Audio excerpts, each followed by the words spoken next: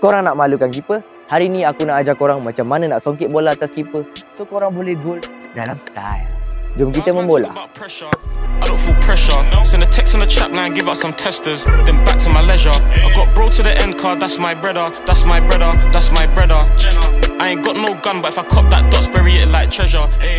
Jadi kenapa korang kena belajar teknik ni sedangkan ada banyak lagi teknik yang senang? Ini sebab korang kena pelbagaikan teknik jaringan gol supaya korang boleh serasikan diri dengan pelbagai situasi di depan gol. Aku bagi contoh situasi. Korang dalam situasi satu lawan satu dengan keeper, keeper dah mula lari ke arah korang untuk tutup ruang. Apa yang korang akan buat? A. Placing B. Chip shot ataupun songkit bola C. Rembat pada baru Kalau korang pilih B, korang ialah striker yang bijak Kalau korang pilih A pun betul juga. Tapi jaringan yang mudah Tapi boring lah kan? Kalau korang pilih C pula Peluang nak gol tu kurang sikit Sebab keeper dah tutup banyak ruang. So korang pun tak ada ruang sangat kan Nak tarik kaki tu untuk rembat. Jadi korang nak jadi striker yang bijak Jom kita belajar songkit bola. Benda paling pertama sebelum korang nak jadikan gol Guna teknik apa sekalipun Ialah tengok atas Kalau macam ni tengok. Adakah dia statik di line gol Ataupun dia lari ke depan? Penuh ke depan? Ataupun dia lari ke depan macam ni? Sebab apa kita kena tengok atas Supaya kita boleh tahu Jenis teknik apa yang kita nak guna? Kalau macam ni hari ni kita nak belajar chip shot. Kalau macam ni kita perlukan keeper tu ke depan Untuk kita jadikan chip shot. Kalau keeper tu ke belakang Cuba belakang penuh Rasa logik tak kita nak chip shot? Takkan kan? Kalau kita chip shot sekalipun, dia nak pergi mana? Dia pergi kat keeper juga. Kalau keeper ni dah ke depan, barulah kita boleh chip shot. Step yang kedua, korang kena relax. Kita nak buat chip shot ni, kita kena santai, kita kena stylo. Sebab apa?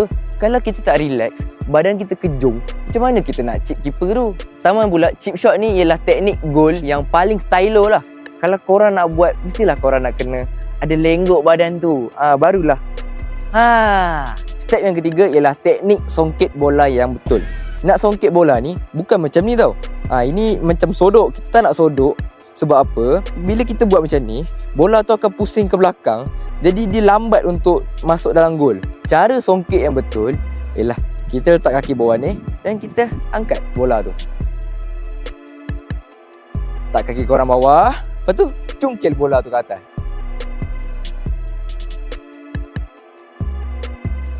Ha, kalau bola tu tengah gerak, korang kena relax dulu, cari step sikit, lepas tu songkit.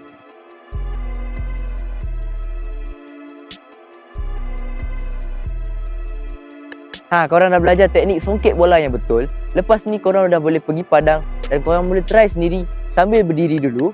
Dah selesa, baru buat sambil bola tu bergerak. Lepas tu korang try lah ambil satu kon ataupun satu selipar. Korang bayangkan tu macam keeper. Korang songkit atas kon ataupun selipar tu. Teknik jaringan ni besar sikit risiko dia. Tapi kalau korang berjaya buat ataupun berjaya master chip shot ni, korang akan jadi player paling stylo dalam team ataupun Cole. Macam Cole Palmer. Jadi jangan lupa untuk like dan subscribe pada channel Boots Mainan TV untuk banyak lagi video macam ni di masa akan datang. Sekian untuk hari ini. Harry out.